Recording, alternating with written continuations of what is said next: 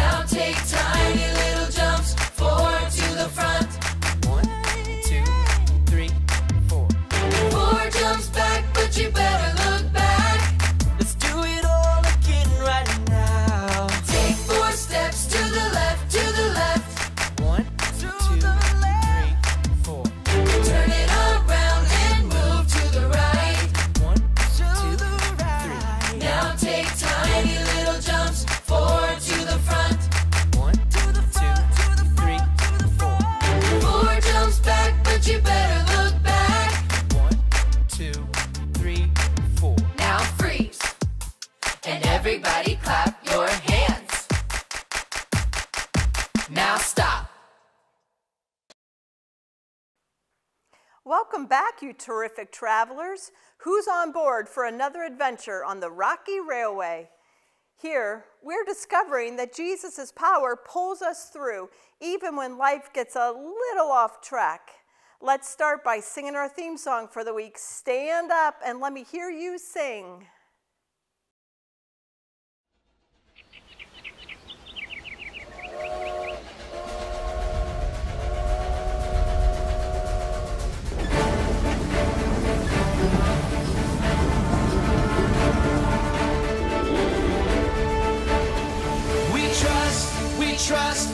trust in you, Jesus. You're all, you're all.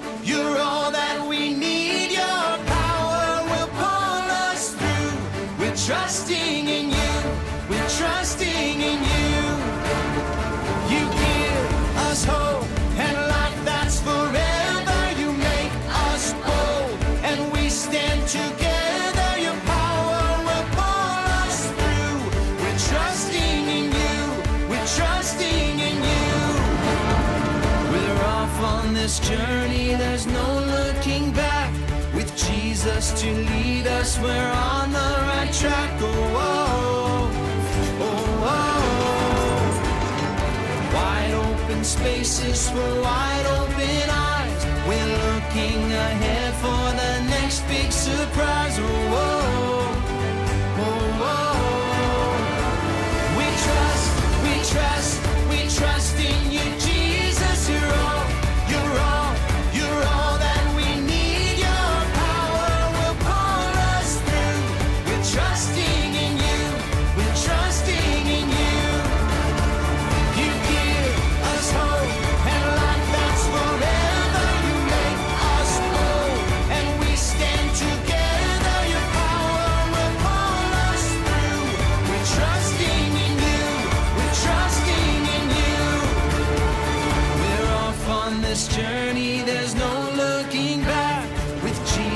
To lead us. We're on the right track. Oh, oh, oh, oh, oh. Wide open spaces for wide open eyes. We're looking ahead for the next big surprise. Oh, oh, oh,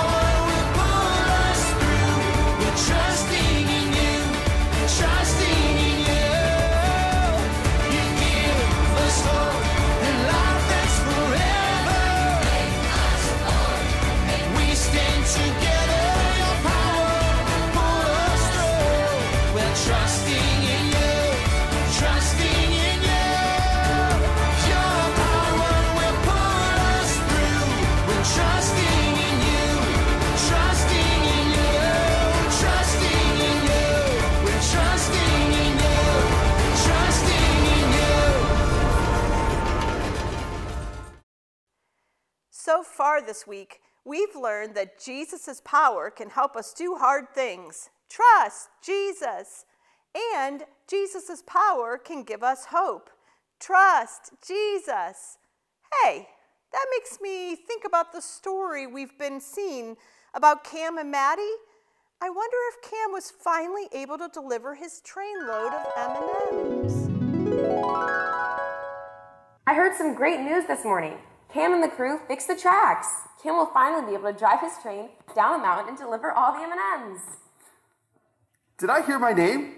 Are you guys talking about me? Are you cheering for me? we are. Aren't you excited to finally get your train down the mountain to make all the deliveries? Oh, yeah. Uh, totally. Can't wait. So excited. Look, a squirrel! Uh, Cam? Where'd you go? Why are you hiding? If you see the train conductor coming, can you tell him I went, um, oh, just tell him I went to water my lawn. Cam, I don't know why you're hiding, but you might as well come out and tell us about it. I'm pretty sure we'll figure out what's going on. You're right. Maybe I should wear a disguise. What do you think? Unless you're disguising yourself as a tree, it's not going to work. Just tell us what's going on. Well, the conductor, I, I mean, the conductor pointed out that before we go down the mountain, I have to go up and over a really steep mountain. Now he's trying to find me so we can get rolling. You know, full steam ahead. I Thought that's what you wanted to do, delivering the M&Ms and all. It is. It's just, I've never driven a train down such a steep mountain before. I've gone up little hills, on long flat plains, around crazy curvy bends, over tall bridges, but I'm nervous about going up and then down a steep mountain. Yeah, I mean, doing new things can take courage and boldness, but, and that's why I'm glad I don't have to do those things alone. Jesus' power helps us be bold. Trust Jesus. You don't have to face it with your own power. You can trust that the one strong enough to make the mountain is strong enough to help you get over it. That sounds nice, but I'm still nervous. and that's okay. We have some songs that might give you the boldness to tackle this new challenge. They'll remind you that Jesus' power helps you be bold. Trust Jesus. Okay, that might help a lot. I can't wait to hear these songs and remind me of Jesus' power.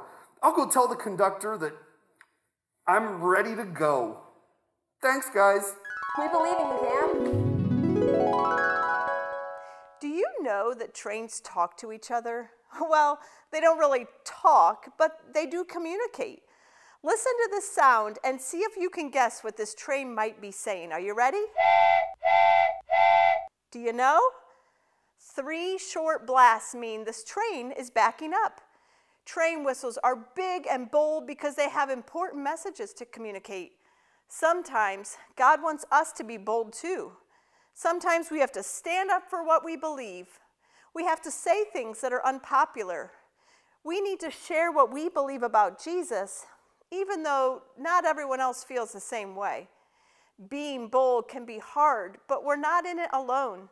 Today we'll see how Jesus' power can help us be bold. Trust Jesus. Let's celebrate Jesus' power with a song called We Can Trust Him. Stand up.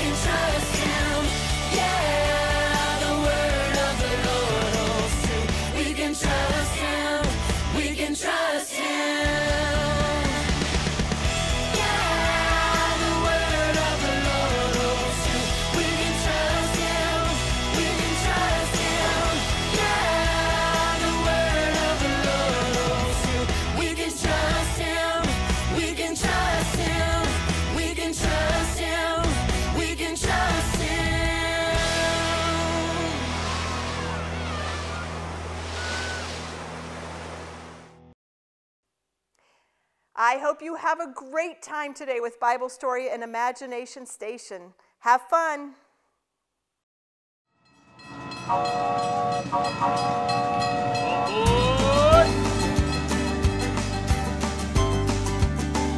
Is everyone on board for another exciting day?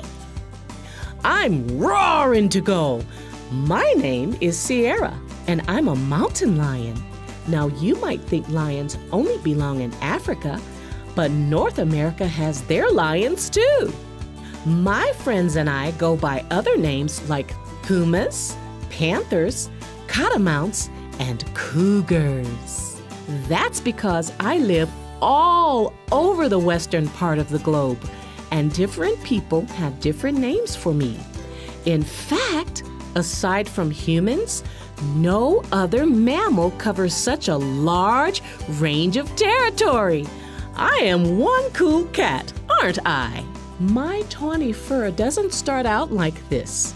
As a baby, I had spots. I think God gave me those so I'd blend in with the tall grass where my mother hid me.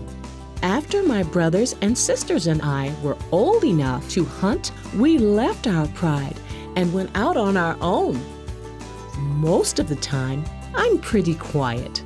After all, if I'm making a lot of noise, it's gonna be hard for me to sneak up on my lunch.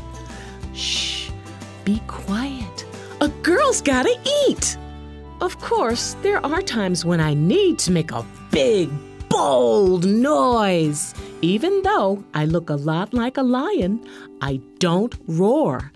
I've got a pretty intimidating scream, though. Isn't that the cat's meow? When I need to catch a meal, I have to move fast. I'm glad God gave me such powerful legs to run, jump, and pounce. Without those mighty muscles, I'd go hungry. God made my legs so powerful. Mountain lions can jump up to 18 feet high and 40 feet long. That'd be like me jumping on top of your house. God created me with muscles to leap and pounce. Sometimes you need to boldly leap or pounce on an opportunity. Maybe it's hard to be bold when you need to make a new friend. Tell the truth. Or boldly talk about Jesus. The Bible has this powerful promise for you. He gives power to the weak and strength to the powerless. You can trust that Jesus' power will give you the strength you need to be bold. Jesus is right with you, cheering you on all the way. Pounce on the opportunity. Jesus' power helps us be bold. Trust Jesus.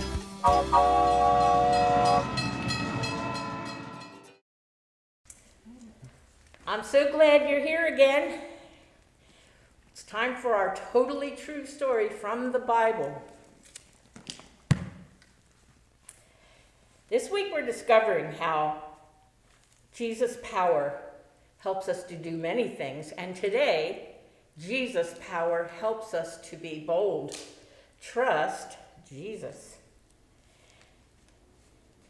This story kicks off with someone who can't walk.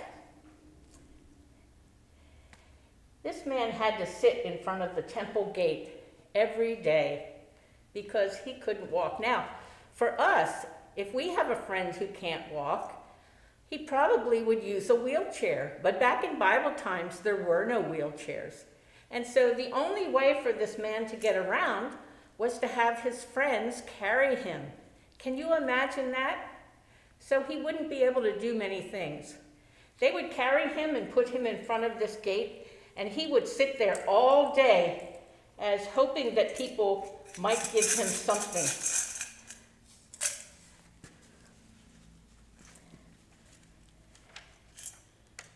On that day in Jerusalem, something incredible happened, though.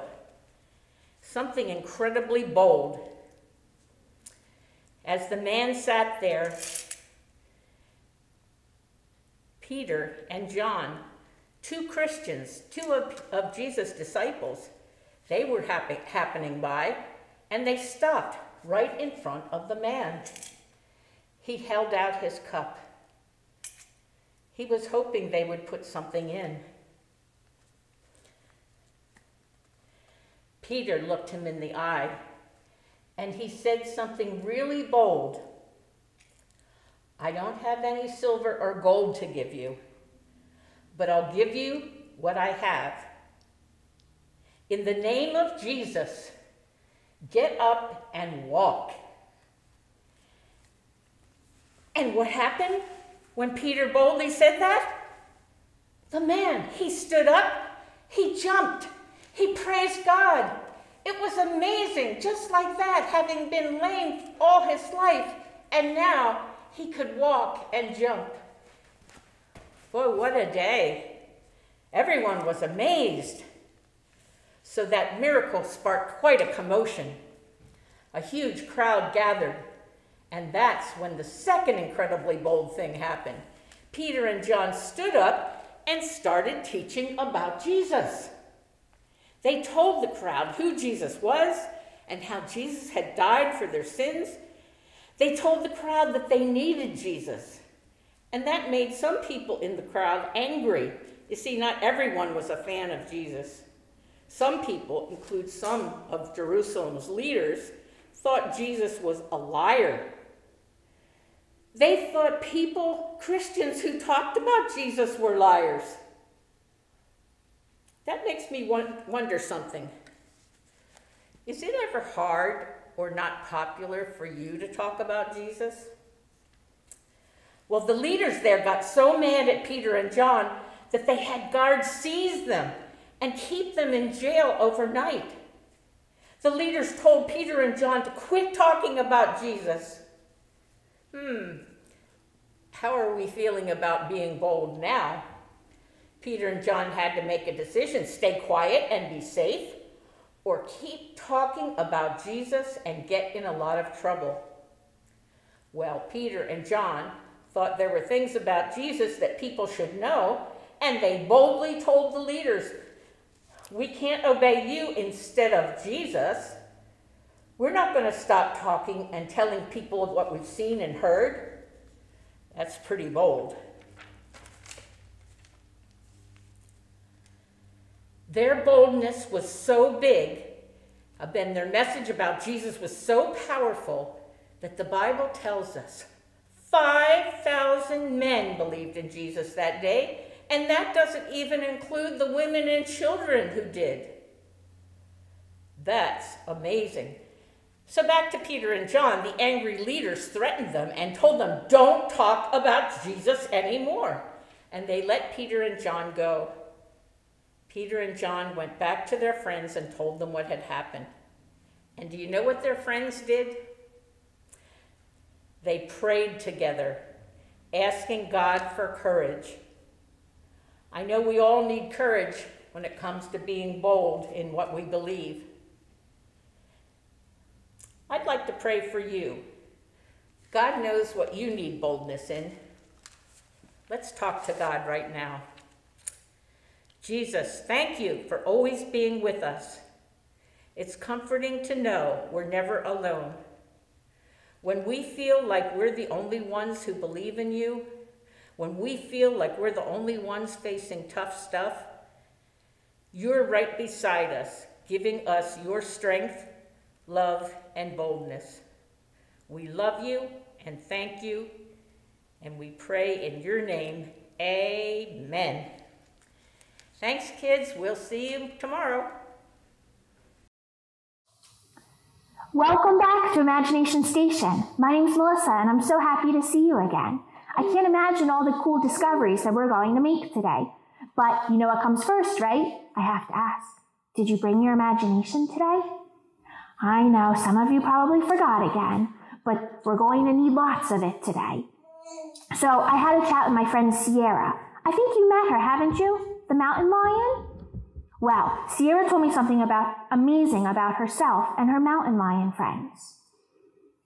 Mountain lions like Sierra can jump 15 feet in the air. Let's try it. One, two, three. Did you hop? I didn't jump very high. Let's try again. One, two, three. Jump as high as you can. All right. We'll try one more time. One, two, three. Jump! I didn't jump 15 feet. Did you? I don't think we can without a trampoline. But Sierra and her mountain lion friends are so cool. That's how high they jump. I have another question for you about mountain lions. Which is stronger in a mountain lion? Does it have a stronger sense of smell or a stronger sense of hearing? What do you think?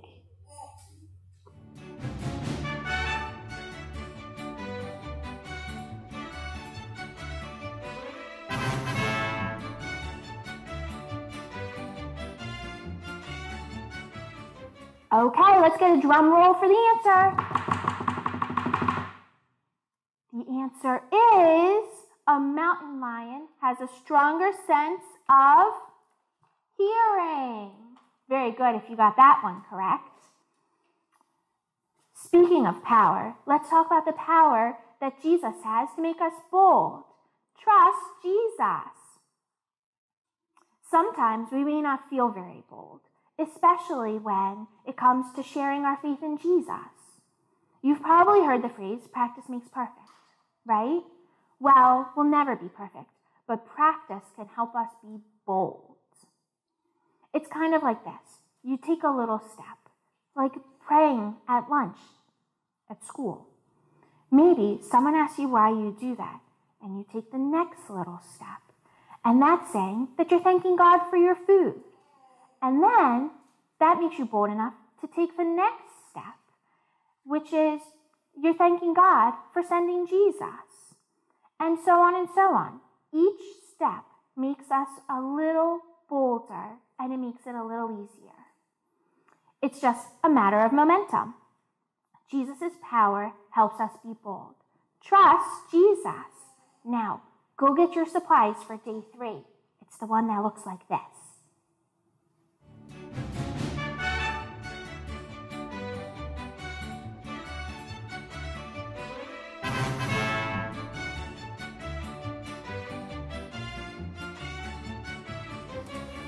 Now it's time to introduce today's fun gizmo. This is a bold blaster. Let's see what happens when I drop it. Oh, that wasn't much fun. What a dud. Let's give it its power back. put that through, and let's try it again. Ready? Wow! That was so much more fun. That was bold. Did you see how high it jumped? That's like when we have Jesus in our lives. We can reach new heights. Jesus' power helps us be bold. Trust Jesus. Have fun playing. Try to make it as bold as possible. I'll see you tomorrow. Thanks for making this train journey in the Rockies rock. I'm looking forward to departing this depot with you tomorrow. As we say goodbye, let's sing This Train is Bound for Glory, and we'll see you all tomorrow.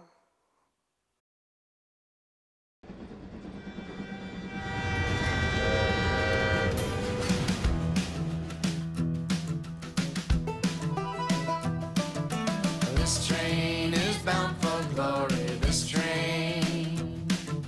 This train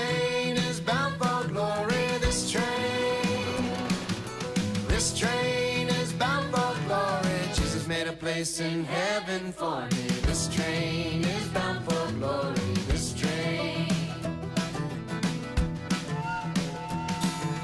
This train is bound for glory. This train. This train is bound for glory. This train. This train is bound for glory. Jesus made a place in heaven for me.